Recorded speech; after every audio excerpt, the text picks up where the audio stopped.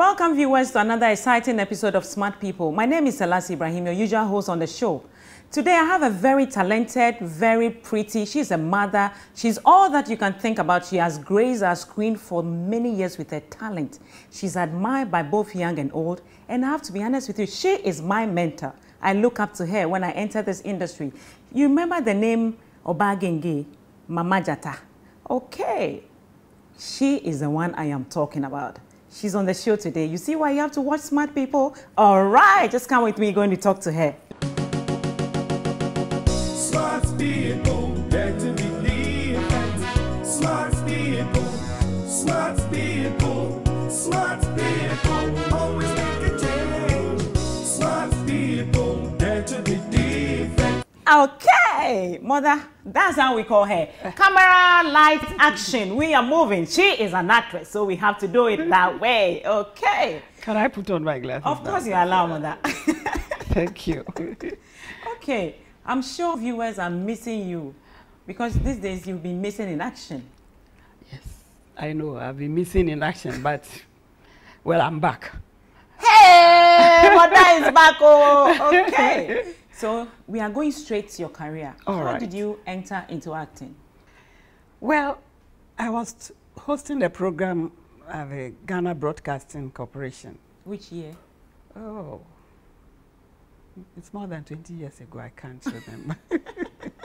it's more than uh, almost 30 years ago. Okay. Mm, mm.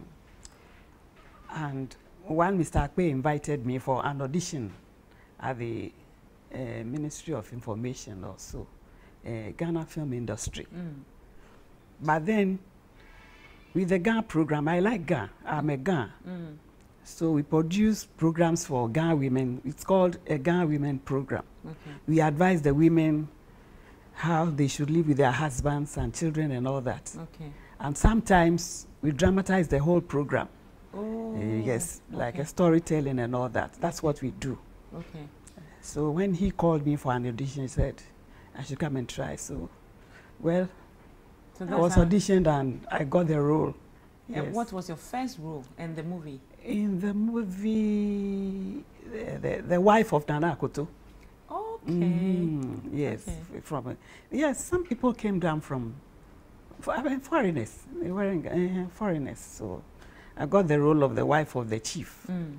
And we were sent to Koforidua. So I think I think I've seen it one or twice on the telly. Uh, And how did you feel when I got the role, playing your first major role on, on screen? well, before then I was always on radio, drama on radio, and So it TV wasn't so theater, and it's all uh, yes. I've been acting already, and me with acting. As soon as I get on the set, I forgot everybody. Whenever I got on the set, that's what I do. Okay. Yeah, you, I forget everybody and I forget even the camera And you just and do my own thing. Hey, That's mother, all. oh, mother. So when I got there, I forgot everybody. I saw many people. People I've been seeing on the screen, but I didn't mind them. I was just going on. Yeah. Then I got it. So, and then it continued. It continued till today. And then I had the chance of working with NAFTI, Yeah. and the students helped me a lot. Okay. Every year, somebody will come for me.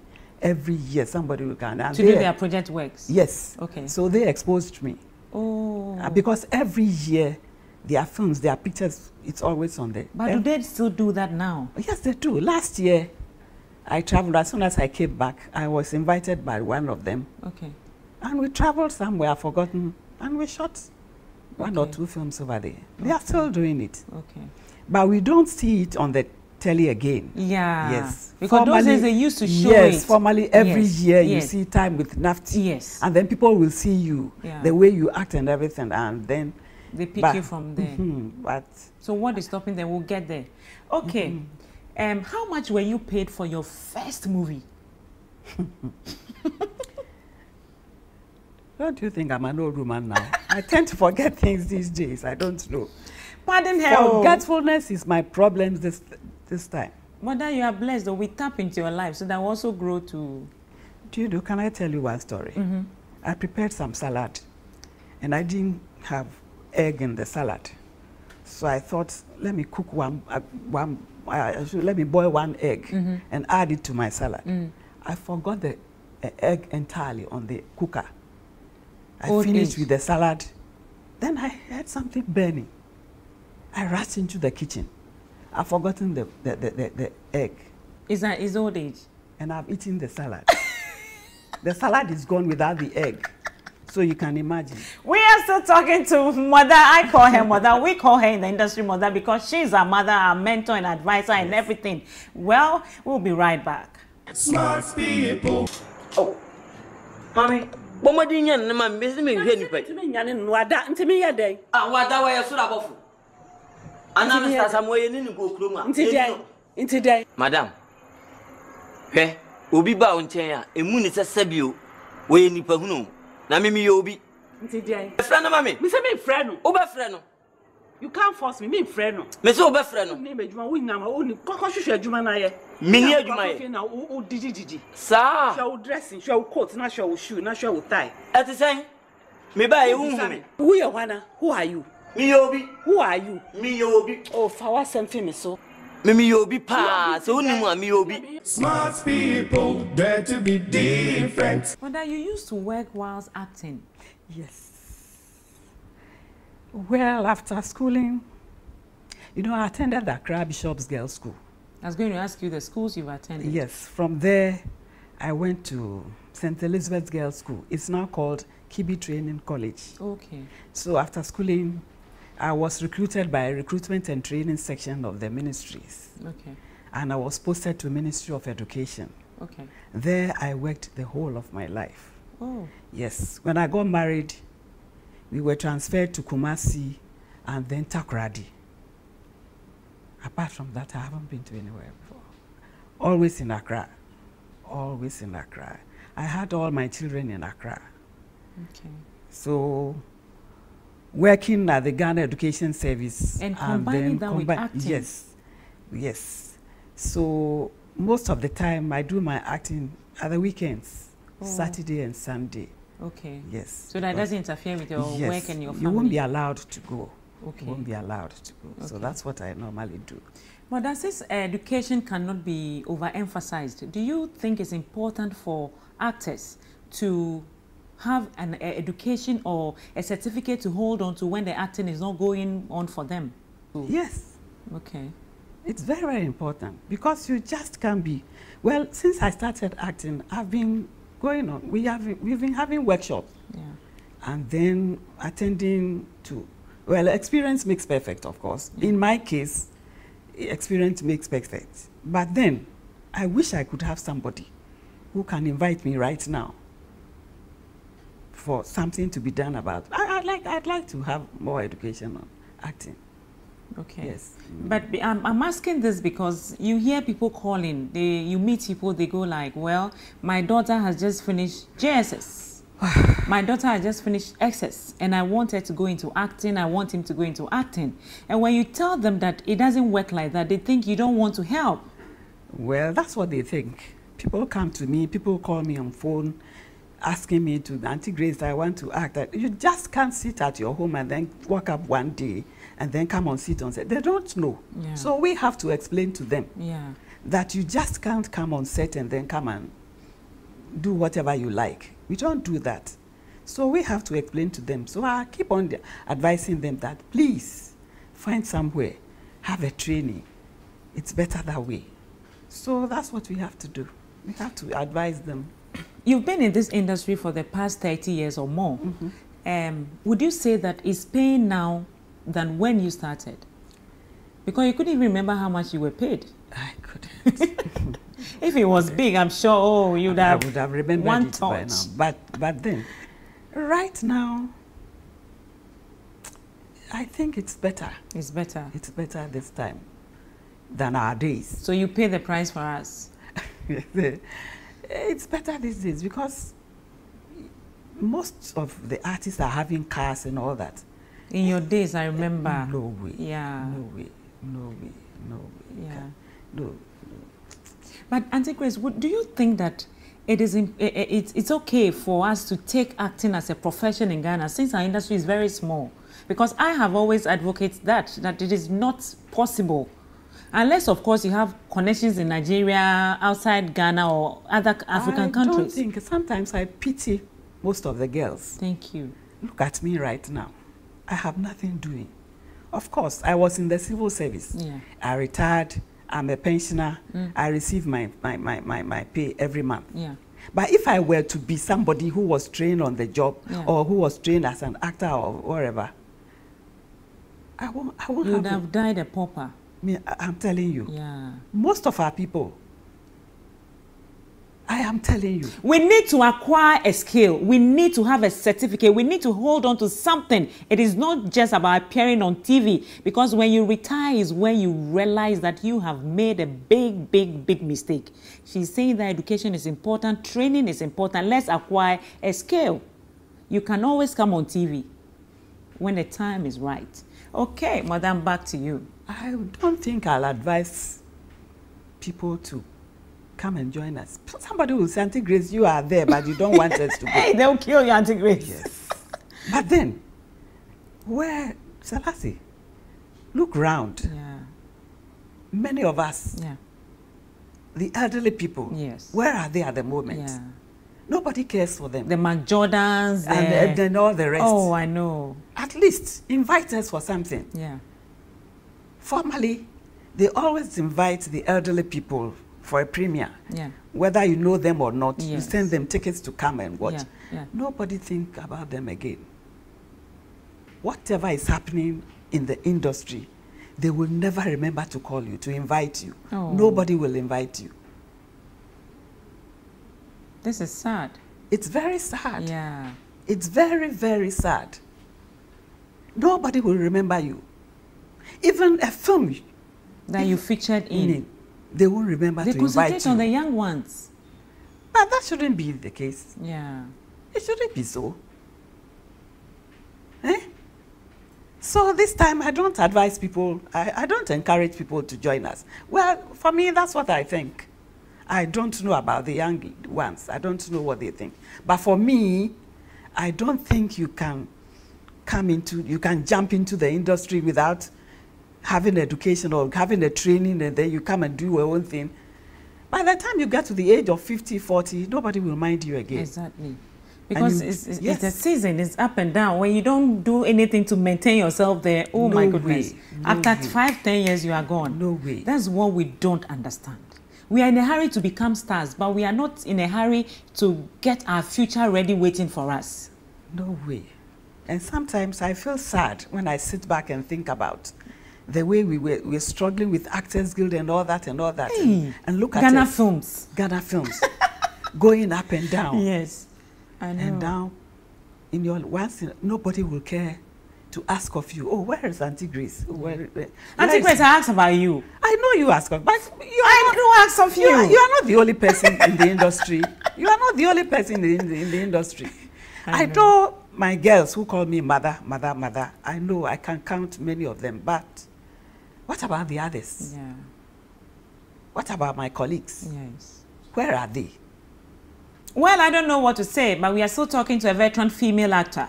Well, we'll be right back. Smart people dare to be different. Um, Auntie Grace, would you say that um, acting has given you a life you envisaged?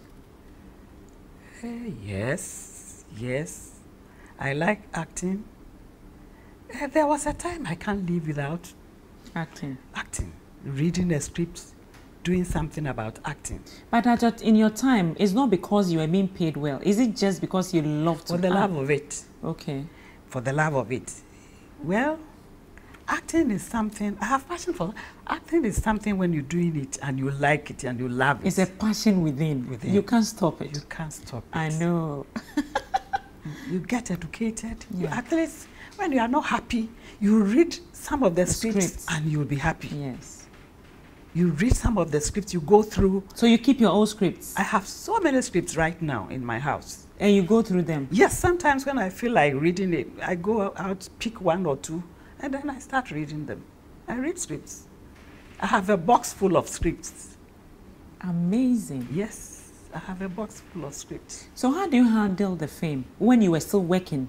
when you go to the office, what what was You the reaction of your colleagues? There was once I went to the police hospital to see a doctor. I've been going to see him. Then one day when I got to the hospital, he was looking at me closely. He said, Ah, were you the one I saw on the telly? I said, Which? He said, Ah, I told my wife you resemble somebody, one of my patients. Were you the whole? The, I said, Yes, doctor. Hey, he was surprised. I said, "Ah, Well, you get your, you, you, you, you, don't have your privacy. yes. That's my problem. Mm.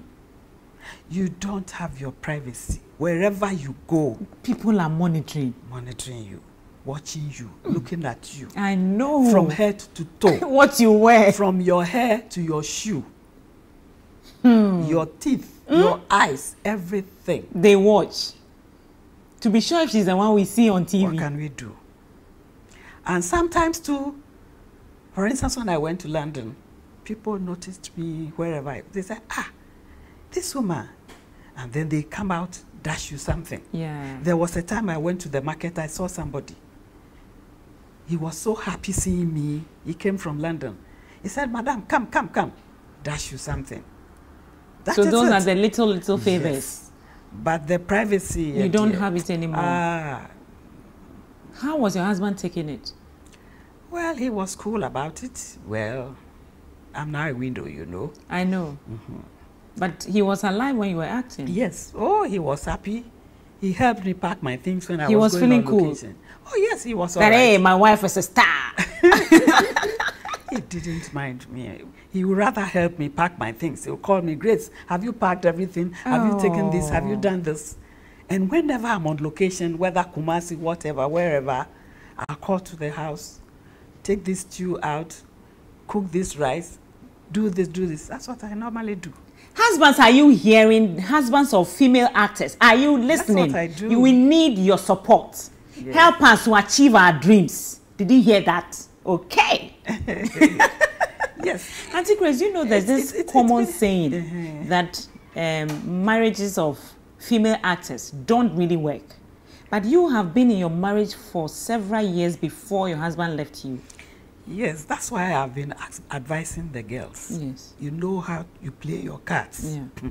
If you know you are a married woman, you know how to work. Exactly. You know how to play your cards. A married woman. As I'm sitting down now, I will never expose my breast. I will never expose my waist. I will never expose my thigh. Yeah. A married woman. Yeah. Your precious is your breast, your waist, and all that. So, if you expose your breast, what else is left for your husband? So do you think that these are the reason why marriages of female actors or actors in general Well, always in um, you trouble? see, You are saying it. It's now that I'm going to. Once you've said it, I am going to watch and. it's not just Ghana, mother. I know. Yes, yes, yes. It's, it's, it's a worldwide Some- thing. Sometimes I read in the papers Yes. about most of Yes, the, the yes. artists.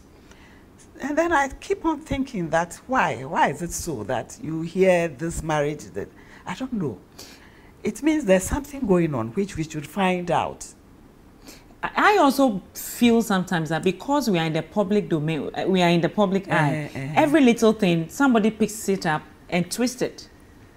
Well, it could be so. But then Because politicians, uh, we are just like politicians. Politicians, People will just dream and they bring it in papers, and you have no choice. You, can't see, go defending some- yourself. Sometimes they sit back and picture you with a man on a bed. I am telling you, they pick a character on TV and they start spreading news. That is it. So I keep on explaining to them that if you see them, that doesn't mean they are alone in the room. The cameraman is there, the sound man is there, the assistant sound man is there. Yeah. There many people over there. So don't think the two of them are in the room alone. Look, female actors, we have moral values. Stop looking at us like that, oh. We have moral values. Yes. My friend, we are okay. Mother is Yes. here, so my mother is here, so I won't say it. Yes, that's what they say. oh, where where are the papa boy you could die? Can you imagine? Kissy kissy, no, no, no, cover. Mother, you know, that's what they say. one funny thing, eh, I featured in a movie with uh, Desmond Elliot. Uh-huh. I was sitting there, one mother of mine called me and said, Ah, Selassie Mati said, Nam said Desmond Elliot, he's a small boy. How? And he knows I am married. You know, this is what they do and they spread it, and by the time it gets to you, it's already gone far. Yes, it's for us to explain to them. We, But we have to you educate can't explain them. to everybody. We have to educate them. Yes, education, I agree. Yes. But we can't explain to all of them. Well, the thing because uh, you see, of course, once I know I'm a married woman, Mm-hmm. I have never been. No, if you give me a script, I go through. Exactly. And if you ask me to go and lie down with a man, I can choose not to do it. exactly, yeah. And I know the director won't force me. yeah. So that's what the girls, that's what they have to do. Mother, let's say. When you are given the script, go through the script. yes. Find out if you can do it. If you can't, tell the director to change it. If the director cannot change it, You hand over walk the script to her. That, to uh, mother, Yes. let's say you are playing a mother Mm-hmm. and you have a husband. There's no way you will say, I can't lie on bed with my husband in the movie. you have to. You have to, but maybe there are certain things you wouldn't do, like maybe having sex. Or kissing and eh, all that. You won't do it, but Yes. lying down on bed, even just lying on bed with a man, people will read meaning into it. Oh, well, I am a married woman. I was a married woman. I was one given the role with uh, George Williams Mm. to play the role of uh, the wife of George Williams. And we were lying down. Yeah.